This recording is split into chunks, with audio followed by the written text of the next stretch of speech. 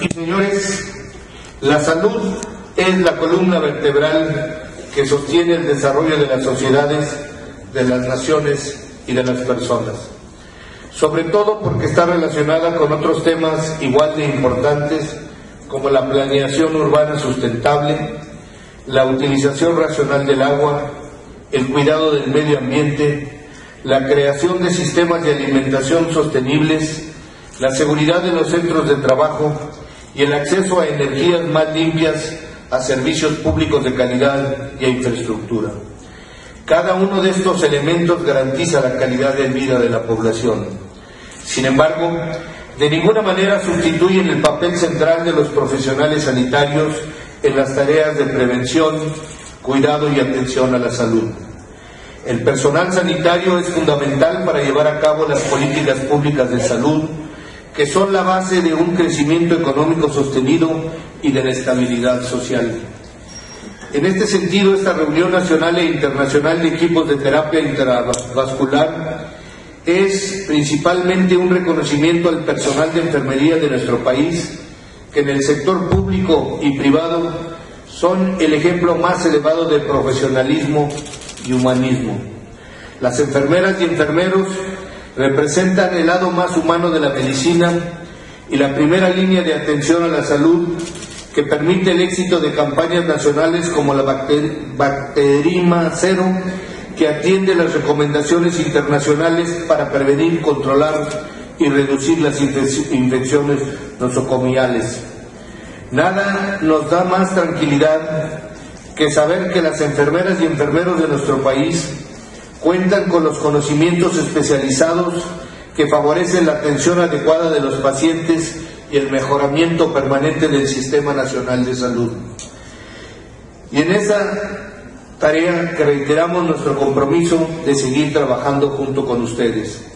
Porque cuando los gobiernos trabajan en la generación y mantenimiento de las condiciones que garantizan la salud de la población, este esfuerzo se refleja en los indicadores de desarrollo de un país o de una región. Desde el año 2011, el Estado de Aguascalientes se ha distinguido en México como líder nacional en los temas de salud, la educación, la generación de empleos formales, las inversiones de alto valor agregado, la transparencia y la seguridad pública. Al privilegiar la prevención y ampliar los servicios de salud en todo el territorio estatal, aseguramos la calidad de vida de todos los aguascalentenses y elevamos los niveles de productividad y competitividad de nuestros sectores estratégicos. A su vez, este dinamismo y relanzamiento industrial han posicionado al Estado de Aguascalientes en el primer lugar nacional de crecimiento económico, que significa la derrama de mayores oportunidades de superación y bienestar social para las familias en un clima de paz social, estabilidad y seguridad. Una economía fuerte y estable es como un catéter bien colocado con los máximos niveles de seguridad y sanidad. Y es el mejor síntoma de que se está trabajando en todos los frentes del desarrollo y principalmente en el de la salud. Reiteramos nuestro agradecimiento al Gobierno federal por la distinción de celebrar esta reunión nacional e internacional de equipos multidisciplinarios de terapia intravascular como un reconocimiento al liderazgo del Estado de Aguascalientes en México y en el mundo. En los últimos cuatro años nos hemos consolidado como el foro por excelencia en nuestro país para llevar a cabo muchos de los eventos académicos más importantes a nivel nacional e internacional en un clima de seguridad permanente. Hacemos un reconocimiento a los profesionales de la salud que están participando en esta reunión por su compromiso con una preparación permanente para seguir brindando servicios de calidad en las instituciones públicas y privadas de salud.